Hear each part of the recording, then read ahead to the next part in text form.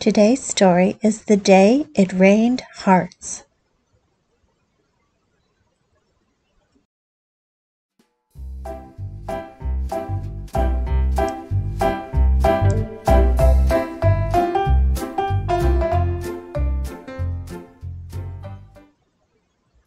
The Day It Rained Hearts by Felicia Bond.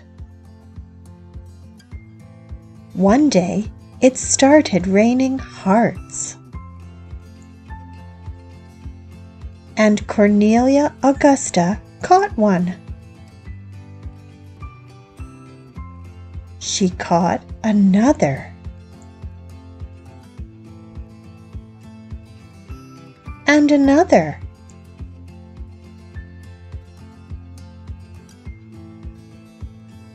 It wasn't very hard so she caught some more. It must be getting close to Valentine's Day, she thought. And she set to work making valentines. The hearts she caught would make perfect cards. Cornelia Augusta saw that all of her hearts were different.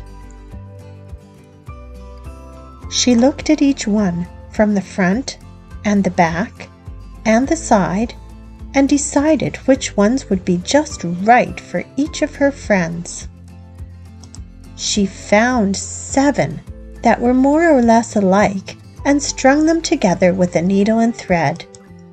I know just the right person for this one, she thought. Then Cornelia Augusta took an especially handsome heart and pasted it on a piece of paper. In the center of the heart, she glued a cotton ball, one that was very white and very soft, and she knew instantly who this card would be for. Cornelia Augusta had eight hearts left. On the largest one, she drew circles and then very carefully cut them out. The other hearts were so small she arranged all of them on one piece of paper. Around the hearts, she painted patterns of many colors. Then she folded her design in half.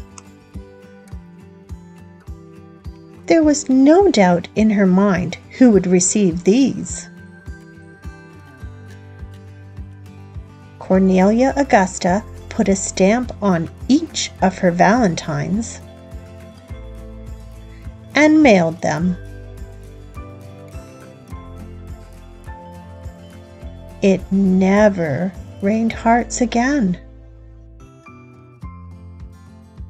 Not where Cornelia Augusta lived, anyway. But it didn't matter.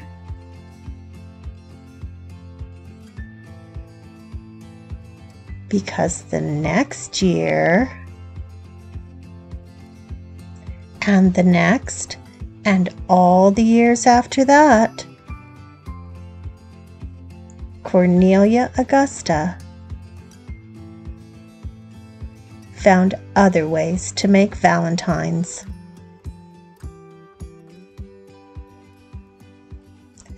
Thank you for sharing this story with me, friends. We'll see you soon.